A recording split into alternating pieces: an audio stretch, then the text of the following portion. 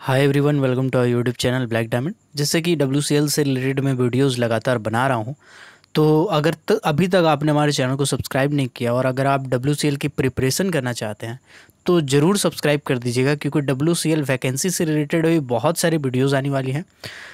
तो आज का टॉपिक शुरू करते हैं। तो इससे पहले मैंने डाइक और सिल के बारे में आप लोगों को बताया था एक वीडियो में। अगर आपने नहीं देखा तो आई बटन में एक लिंक आ रहा होगा जिसमें ब्लैक डायमंड एकेडमिक वीडियोस करके है। इसमें बहुत सारे एकेडमिक वीडियो मैंने बनाया था। तो उसमें से आप चुन के कुछ जितनी चाहे वीडियोस देख सकते हैं। जिसमें मैंने डाइक और सिल के बारे में बताया था कि डाइक क्या होता है सिल क्या होता है, दोनों में क्या अंतर होता है। और अगर आ जाए तो हम क्या करेंगे? आज हम लोग एक और जूलॉजिकल डिस्टर्बेंस के बारे में देखेंगे, जो कि है fault F A U L T याद रखिएगा फॉल्ट का स्पेलिंग क्योंकि फोल्ट और फोल्ड में आप लोग बेसिक डिफरेंसेस स्पेलिंग में मिस्टेक हो सकता है। तो हम लोग बात करते हैं फॉल्ट का कि आखिर फॉल्ट होता क्या है। तो इसका डेफिनेशन कुछ ऐसा है कि पृथ्वी के भूतात्विक हलचल के कारण जब कोयला टूटकर उस स्थान के ऊपर या नीचे चला जाता है तथा टूटे हुए स्थान में पत्थर आ जाता है तो उसको हम लोग इस प्रकार को फॉल्ट कहते हैं, ठीक है? यानी जब कभी हम लोग ऐसा कोल का सिम रहता है, जैसे यहाँ पे आप फ़ोटो पे देख रहे हैं कि यहाँ पे एक कोल का सिम था ये कोल सिम अगर नहीं कुछ होता तो कंटिन्यूसली रहता। लेकिन किसी कारण से इसमें बीच में ऐसे क्रैक आ गया और क्रैक आने के बाद जो सिम है, वो ऊपर और नीचे आ गया। यानी इसके बीच में दूरी आ गई है कोल सिम जो है, वो एक ऊपर आ गया, एक नीचे आ गया, दोनों के बीच में दूरी आ गई है। तो इसी को हम लोग बेसिकली कहते हैं fault F A U L T fault ठीक है? तो ये अलग अलग टाइप का हो सकता हो सकता है ये जो पहले आप देख रहे हैं, ये वाला ऊपर हो, ठीक है? ये हो सकता है कि नीचे हो आपका तो और भी कुछ तो और भी कुछ कंडीशंस है।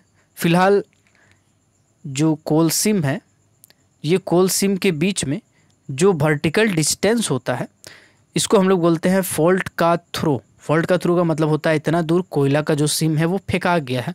यानी कोयला का फेंका जाना कोल सिम का इतना दूर फेंका जाना, इसको हम लोग बोलते हैं फॉल्ट का थ्रो इसके बाद ये जो कोल सिम का लास्ट छोर होता है और ये जो कोल सिम है, इसका फ़र्स्ट छोर जो होता है, इन दोनों को एक प्लेन मैच करती है लाइन मिलाती है, जिसको हम लोग बोलते हैं फॉल्ट प्लेन तो याद रखिएगा फॉल्ट क्या होता है फॉल्ट प्लेन क्या होता है?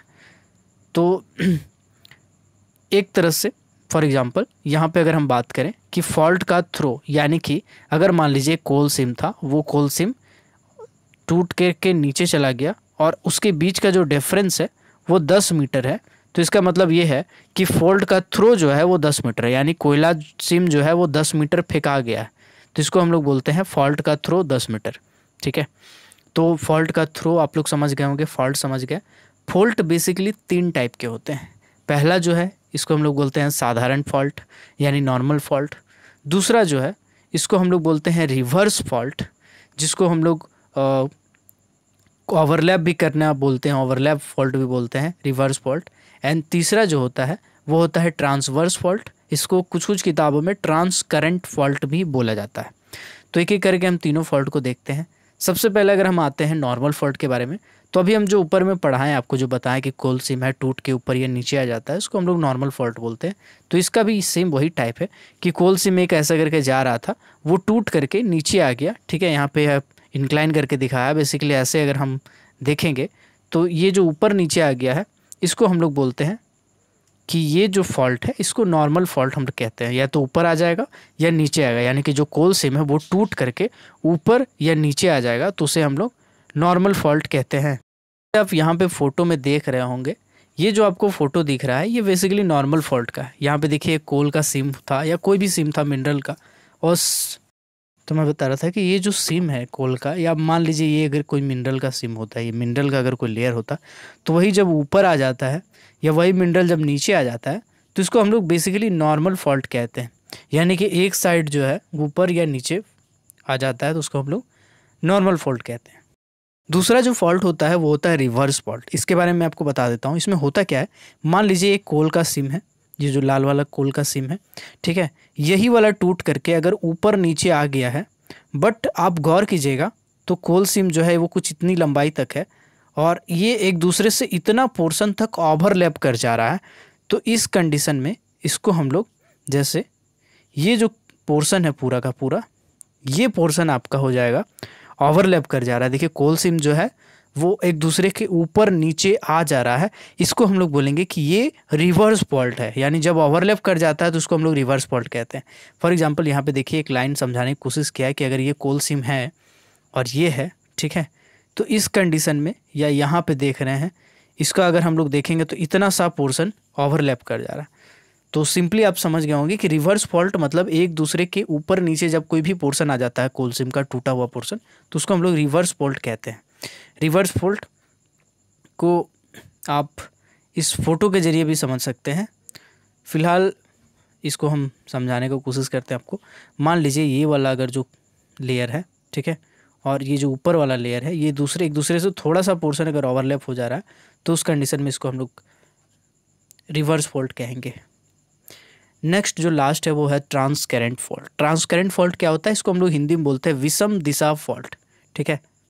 विषम दिशा फॉल्ट में क्या होता है कि नॉर्मली हम लोग क्या पढ़े, फॉल्ट के बारे में कि ये एक फॉल्ट था, ऊपर और नीचे आकर डिपॉजिट हो गया था, दोनों के बीच में गैप आ गया था। या तो ये वाला पोर्शन था, या फिर दूसरा हम लोग पढ़े कि कुछ कोल सिम था, इस कोल सिम का कुछ पोर्शन ओवरलैप कर जा रहा था, ठीक है?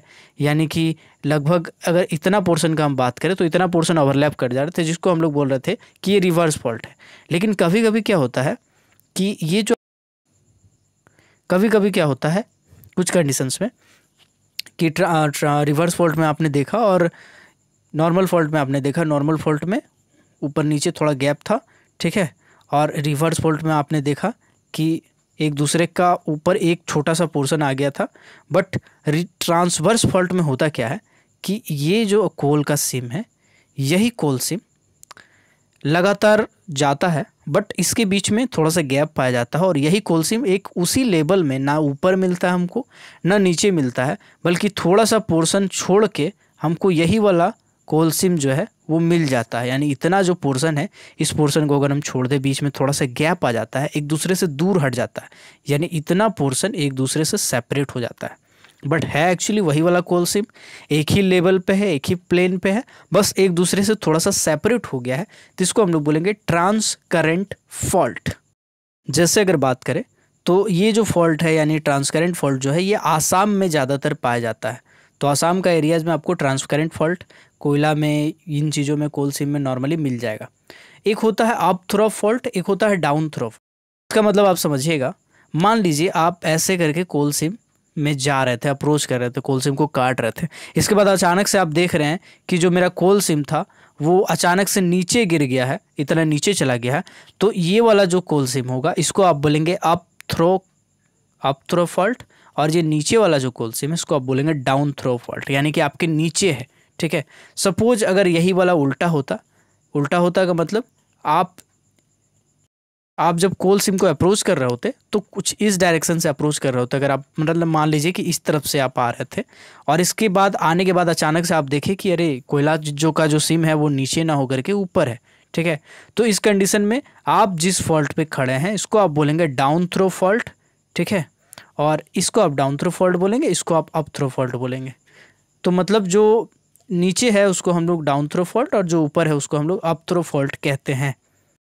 कुछ और फॉल्ट के बारे में देख लीजिए, जो कि एच पी सोनी में बहुत अच्छे तरीके से समझाया गया है। कुछ और भी फॉल्ट होते हैं, जैसे स्टेप फॉल्ट बोलते हैं, इसको सीढ़ी नुमा फॉल्ट बोलते हैं, ट्रफ फॉल्ट बोलते हैं और रिजिट फॉल्ट बोलते हैं। स्टेप फॉल्ट के बारे में बता रहे हैं।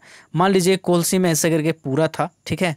उसी का कुछ कुछ पोर्सन जो है, वो बीच में से डिवाइड हो गया, ठीक है? मान लीजिए एक पोर्सन यहाँ से कट गया, एक पोर्सन यहाँ से कट गया और कटने के बाद ये जो पोर्सन आप देखिएगा, वो कुछ इस टाइप से अगर मान लीजिए हो गया कि यहाँ छोटा सा पोर्सन है कोल सिम का, फिर वो थोड़ा सा नीचे पाया जा रहा है कोल सिम का, फिर वो थोड़ा सा नीचे पाया जा रहा है कोल सिम का। अगर प्लेन का बात करें फॉल्ट प्लेन का, वो तो वो ऐस, कुछ ऐसा ही है। तो उस कंडीशन में हम लोग उसको बोलेंगे कि ये अस्टेप फॉल्ट है, यानी सीढ़ी नुमा फॉल्ट है, ठीक है? सीढ़ी नुमा ये आकृति बना रहा है, इसी के लिए इसको हम लोग, देखिए यहाँ पे सीढ़ी नुमा आकृति बना रहा है तो इसीलिए इसको हम लोग स्टेप फॉल्ट कहते हैं। दूसरा होता है ट्रफ फॉल्ट ट्रफ फॉल्ट क्या होता है कि यही वाला जो कोल सिम था, वो बीच में से डिवाइड हुआ था, किसी कारण से। और ये जो कोल सिम था, वो कुछ ऐसा पाया जाने लगा। ऊपर मिला हमको कोल सिम फिर वो हमको थोड़ा सा पोर्शन नीचे मिला, फिर वही वाला कोल सिम उसी के बराबर में या ऊपर में ही मिला। उसका लेबल भी हो सकता है, हो सकता है लेबल से ऊपर हो, ऐसा कोई प्रॉब्लम नहीं है। तो उस कंडीशन में उसको हम लोग बोलेंगे कि ये जो है, ये ट्रफ फॉल्ट है। मतलब यहाँ पे जो आप फ़ोटो देख रहे हैं, ये जो फ़ोटो है, ये ट्रफ फॉल्ट का फ़ोटो है। बस इसी को उल्टा कर दीजिए। यानी कि समझिए एक बाल्टी रखा हुआ है, उस बाल्टी को आप उल्टा कर दीजिएगा तो आपका रिजिट फॉल्ट हो जाएगा। तो वही वाला मतलब नीचे फॉल्ट था पहले, फिर वो वाला उसका कुछ पोर्शन ऊपर मिला, फिर लगातार नीचे मिला तो उस कंडीशन में हम उसको बोलेंगे कि ये रिजिट फॉल्ट है। तो इसको याद करने के लिए आप समझ सकते हैं कि जो ट्रफ फॉल्ट है, ये सीधा बाल्टी है, जो रिजिट फॉल्ट है, ये उल्टा बाल्टी है। और स्टेप फॉल्ट जैसे कि नाम से ही पता है स्टेप यानी सीढ़ी नुमा तो आप उसको अच्छे से समझ सकते हैं। आई होप कि फॉल्ट क्या होता है? फॉल्ट के कितने प्रकार होते हैं? ये आप अच्छी तरीके से समझ गए होंगे। हालाँकि ये मेरा पूरा स्टडी मटेरियल है और आप टेलीग्राम ग्रुप को ज्वाइन कर लीजिएगा। वहाँ मैंने शायद शेयर किया होगा। आप वहाँ से जाकर डाउनलोड कर सकते हैं। अगर आप माइनिंग सरदार की तैयारी कर रहे हैं तो आपको ये चैनल सब्सक्राइब कर ही लेना चाहिए। और अगर आप गैस टेस्टिंग की प्रिपरेशन कर रहे हैं तो गैस टेस्टिंग को मैं ऑनलाइन पढ़ा रहा हूँ और उसके लिए आ, मैंने यूट्यूब से ही एक ज्वाइन बटन उसमें डाला है और उसको आप कैसे ज्वाइन कीजिएगा वीडियो के लास्ट में वीडियो आ जाएगा, उसको क्लिक करके आप देख सकते हैं कि गैस टेस्टिंग का आप क्लास कैसे ज्वाइन कर सकते हैं ऑनलाइन आपको जब मन करे आप क्लास कर सकते हैं। तो मिलते हैं अगले किसी वीडियो में, तब तक के लिए keep watching keep supporting till then जय हिंद।